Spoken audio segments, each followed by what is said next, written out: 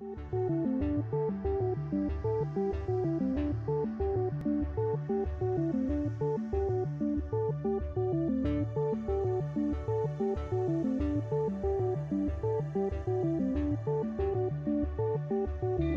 End is, is an upcoming area, um, very busy, um, heavily populated, a lot of uh, restaurants and things coming around the area.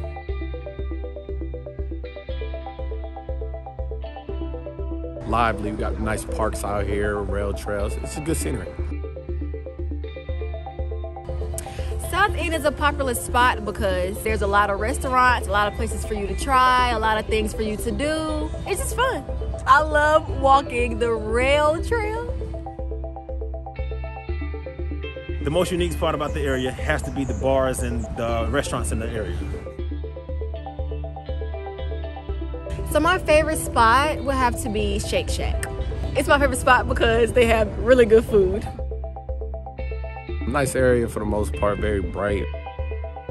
They're very open space, a lot of good food spots. I like to eat, so. My favorite spot in the area is has to be Hawkers, the Asian street flair. Nice restaurant, very modern. I just like to visit the restaurants because it's a lot of good food places. Uh, my favorite restaurant out here would have to be Silver Lake Ramen. I'm a very fan, I'm a fan of Silver Lake Ramen. I also enjoy Blaze Pizza. Those are two of my favorite spots to eat over here. So when you're walking around South End, you see a lot of different people. I've met quite a few people here. I'm very resourceful, so I've met abundance of different type of people in different fields out here. And Charlotte being such a heavily migrated city, I see a lot of people from different places out here.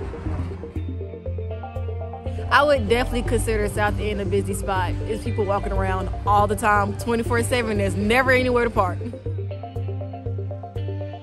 Since since COVID, things have changed uh, drastically, um, but it's still, for the most part, still very busy.